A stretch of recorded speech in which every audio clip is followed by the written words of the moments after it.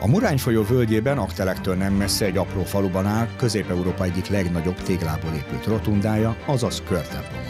Nem egyszerű bejutni a Süvete falu felett egy kisebb magaslaton álló erődített falu épületbe, mert évtizedek óta folyik a felújítása. Gömörbánya vidékének egyik legszebb románkori épülete Európában is páratlan. Az antiókiai Szent Margitnak ajánlott templom csak nem 700 éven át maradt érintetlen. Rotunda v a süvetei rotunda keletkezését a 13. század közepére tesszük. Valószínűleg a Zágy család építette, akiknek a dombon volt a váruk és az otthonuk. Kiterjedt család volt, birtokaik messze nyúltak, aztán amikor az Anzsú Károly Róbert foglalta el a magyar trónt, Zágy Felicián 1330-ban merényletet kísérelt meg az új király ellen. A merénylőt megfékezték és felnégyelték, de harmadíziglen az egész zágy családot kiirtották.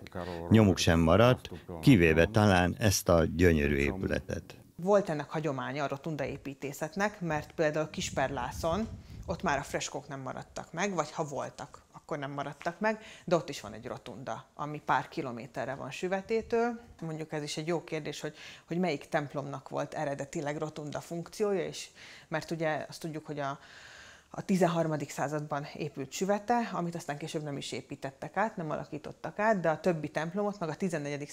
században mindegyiket átépítették. Tehát, hogy itt ez a rotunda, ez egy kicsit megelőzi a jelenleg kutatott, vizsgált foglalkozott gömöri templomok korát, tehát a legkorábbi, és a falképek is a legkorábbiak. A téglából épített rotunda nem csak templomként szolgált, hanem védelmi funkciója is lehetett. Ezt elhelyezkedéséből gondoljuk. A 14. század folyamán a templomot hajóra és szentélyre osztották fel, a románkori Szent Margit legendát pedig gótikus freskókkal fették el. De a kupolában nyomot hagyott a reneszánsz festészet is. Jedná sa o rozsiahlu stavbu, jednu z najväčších. Nagyméretű építményről van szó, az egyik legnagyobb rotundáról ezen a vidéken. Az átlója 11 méter, ami egészen egyedi, és ha belegondolunk, hogy egy 800 éves épületről van szó, és az alaprajza pedig tökéletesen centrális beosztású, a korban ez abszolút merésznek számított. Az ilyen körtemplomoknál nagyon ritka, hogy belső abszisuk, oltárhelyük is van. Ezért egyedi a süvetei rotunda, amelyet a várandósok és szülőnők védőszentjének Antiókiai Szent Margitnak szenteltek. Margita legenda szerint egy pogány pap lánya volt, alig 15 évesen mártír halált halt, de halála előtt még a sárkányként őt megkísértő ördög hatalma sem törte meg. Margit kultuszát második András terjesztette el az 1218-as Szentföldi keresztes hadjáratból hazatérve. Süvetén a körtemplom, tehát valószínűleg a 13. század első felében az aranybulla idején épülhetett. Védfalát valószínűleg a tatárjárás után emelték. Samotná rotunda, ako jej patrocinium, hodnotíme ako a rotunda patrónusa Antiókiai Szent Margit, akinek az életét a festők a mögöttem lévő falon jelenítették meg. Láthatjuk az élete főbb eseményeit, a megkínzását és temetését. Alatta krisztológiai jelenetek láthatók, az utolsó vacsora, Krisztus megkorbácsolása, temetése, egészen az utolsó ítélet. Az ágycsalád kihalásakor a 14. században a rotundának új gazdája lett, nagy valószínűséggel a Bebek család kapta meg. Ezt a korszakot, amikor a bányászat is felvirágzott, tartják ma gömör aranykorának. Itáliai mestereket hívtak, hogy másodszor is kifessék a templom tereit. Tipológiai és ikonográfiai vizsgálattal az itteni freskókról megállapítható, hogy itáliai, Assisi környékén látható festmények kézjegyét viselik magukon. Gömörben sok templomot festettek ki ugyanezek a művészek. A helyi bányákban felelhető alapanyagokat használtak, vasércet, helyi agyagféléket, különféle okkereket és földes pigmenteket. A gótikus festményeket a művészettörténész restaurátor Gró István vezetésével tárták fel a 19. század végén. Akkor találták meg Antiókiai Margit legendáját is. És érdekességként említem, hogy ezek közül többet bemutattak a budapesti világkiállításon is.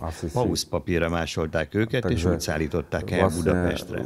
Ezek sokat segítettek nekünk is, mert ki tudjuk kérni a Budapesti Nemzeti Múzeumból a másolatokat, a freskók azonosításához. A gótikus freskók egy része később a szlovák nemzeti galériába került, süvetén csak a korábbi románkori festmények maradtak. Szent Margit legendájának jelenetei a felső sávban, alul pedig a passió néhány kiemelt eseménye látható, erősen sérült állapotban. Leglátványosabb a keresztre feszített Krisztus alakja. Ezeket is megnézheti, akit érdekelnek a híres gömöri középkori freskók, mert a templomok végiglátogatását egy gyorsan népszerűvé váló civil szervezet, a Goticka Cesta, vagyis a Gótikus út segíti. A Gotická cesta je združenie dobrovoľníkov a aktivistov, a Gótikus út önkéntesek és aktivisták egyesülete, ami rozsnyói műemlékvédők köré csoportosul. 2008-ban jött létre, és fő célja a kulturális örökség védelme, főként a középkori szakrális emlékeké, tehát templomoké. Túlnyomó részt gömöri műemlékekről van szó.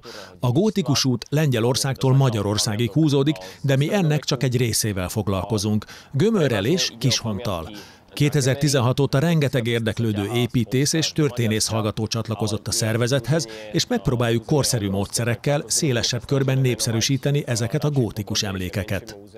A templomok többsége használatban van, Isten tiszteleteket tartanak bennük, de mi nem akarunk múzeumot csinálni belőlük.